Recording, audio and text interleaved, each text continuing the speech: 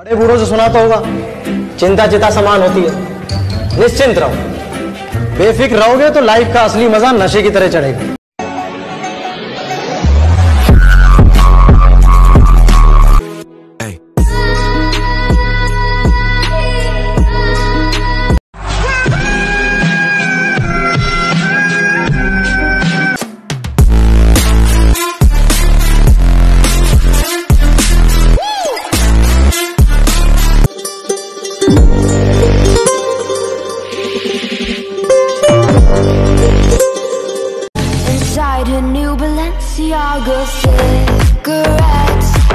किसी चीज़ को इतना फोकस दे दो कि जो लोग आपको नीचे खींचना चाहे, जो लोग आपको डाउट करें, जो लोग आपसे हमेशा ये कहते रहे कि नहीं यार, जो आप करने जा रहे हो, वो गलत है।